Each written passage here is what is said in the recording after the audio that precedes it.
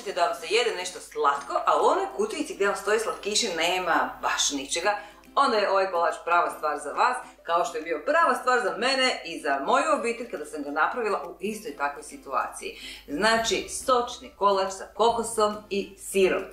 Ovo je kolač u kojem ćemo pomiješati osnovne sve namirnice, e, izmiksati ih dobro, izliti u lim za pečenje, ispeći i odmah moći navaliti na njega.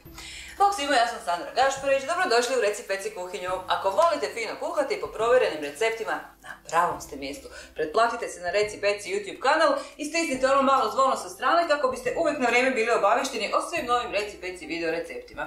Idemo mi napraviti ovaj jednostavni kolač. Zašto jednostavni? Pa zato što ništa nećete morati e, dugo umiksavati, nećemo kuhati nikakve teške i problematične kreme, sve ćemo ispeći u taj čas.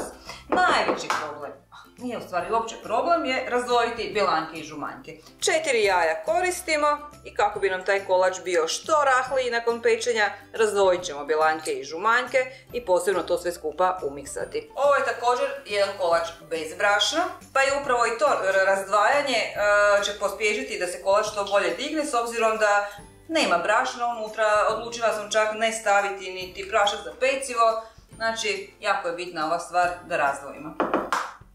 Blanke posebno izmiksamo u čvrsti snijeg, a žumanke koje smo razdvojili, e, njima dodamo šećer i jedan vanilin šećer. Pa sad to mikserom prvo umiksamo onako da postane svjetlo, žuto i pjenasto.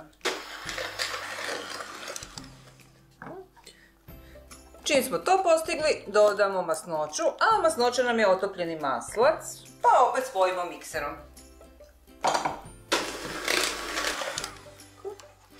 Sada nam je na redu sir, dodamo ga. To može biti e, bijeli kravlji sir, može biti krem sir, može biti mascarpone, e, a može biti i sirni namaz. Ja danas upravljam sirni namaz. Znači ovo je stvarno kolač koji možete eksperimentirati, dodajte ono što vam je pri ruci. Jednako će dobro uspjeti, probala sam ga raditi i sa kravljim sirom, i sa zrnatim čak sirom, i sa sirnim namazom koji je baš onako fini i kremozni svaki put ispadne fantastično. Dodamo taj sir koji god imamo i opet mikserom spojimo. I na kraju malo pomalo dodajemo kokos i konstantno ovako polako umiksavamo.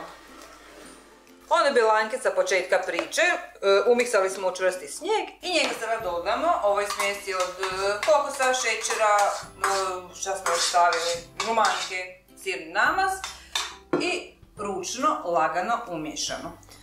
Ovo radimo ovako ručno, da bi nam smjesa bila što pahuljastija i rahlija. A samim time kolač će biti puno, puno okusniji kada se ispeče. Znači, ovaj sam kolač ja nazvala e, sočni kolač e, sa kokosom i sirom. E, stvarno je fantastično jednostavno. Evo vidite i sami da se sve jako, jako brzo može umiksati. Ne ide tu jako puno nekakvih namirnica, sve su namirnice lako dobavljive, znači par jaja, nešto šećera, sirnog namaza, kokosa i u tren ćete imati stvarno fantastičnu slasticu.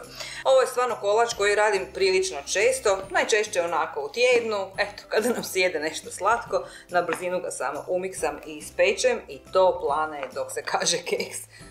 Ovako dobivenu smjesu sada samo prebacimo u lim koji je dobro prethodno obložiti papirom za pečenje. Ako nemate papir za pečenje pri ruci, slobodno možete ovaj lim u kojem će se peći e, premazati tankim slojem maslaca ili ulja, pa dobro pobrašniti. Smisao je naravno da nam se e, kolač ne zalijepi dok se peče. A ovako ako ga radite na ovom papiru za pečenje, a onda ćete ga nakon pečenja vrlo lako moći onako kompletno izvaditi iz ove posude u kojoj se peklo, staviti lijepo na nekakvu dasku i onda ćete ga puno lakše u stvari izrezati. E, znači tu biskvitnu smijesu u stvari. Sada rastegnemo i razmažemo preko cijele ove površine, onako u lijepom ravnomjernom sloju. E, lim za pečenje e, neka vam ne bude veći od 20 cm sa 30 Znači možete ovo raditi u bilo kakvom kalupu, e, to može biti onaj recimo manji okrugli kalup za torte, recimo 20 cm promjera. Nemojte da bude preveliko jer od ove količine namirnica koje ću vam svakako napisati dolje u opisu videa, e, nećete imati dovoljno svega da vam kolač ispadne onako dovoljno visok. Znači ako radite u nečem prevelikom, to će onda biti baš onako jako, jako tanko. Zagladili smo kolač, to je sasvim ok. Pešica nam mora biti zagrijana na 175 do 180 stupnjeva, i on će sada peći nekakvih 25 minuta. Vidjet ćete da je kolač gotov kad se gore dobije onako lagano, lagano zapečenu e, bojicu i koricu. Evo ga, kolačić se ispekao. Znači nešto jednostavnije od toga, teško da ćete moći smisliti u ovako malo vremena, sa ovako malo namirnice dobiti ovako nešto fantastično. Znam da na prvu ne izgleda to sad baš nešto ono wow, znači nema nekakve bogate kreme, nema hrpa čokolade i oraha kako to obično zna biti kad kažemo da radimo onako bogate kolače konkretne ali ovo je nešto toliko fino i toliko ukusno, naročito ako volite kokos, znači fantazija. vi se sad možete tu poigrati pa ne znam, skuhati puding u koji ćete ubaciti recimo maslaca malo, tako ćete dobiti nekakvu puding kremu pa možete preko svega staviti, ali doista nema potrebe.